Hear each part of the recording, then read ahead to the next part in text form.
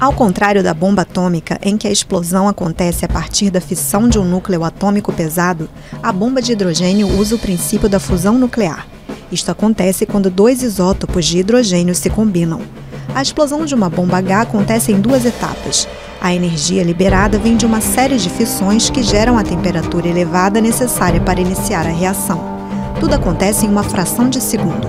A bomba H também é conhecida como termonuclear ela libera uma energia superior à do centro do Sol, que é mais potente do que as bombas atômicas lançadas pelos Estados Unidos contra Hiroshima e Nagasaki em 45. A potência de uma bomba atômica é medida em quilotons. Eles equivalem a milhares de toneladas de TNT. Já a bomba de hidrogênio é medida em megatons.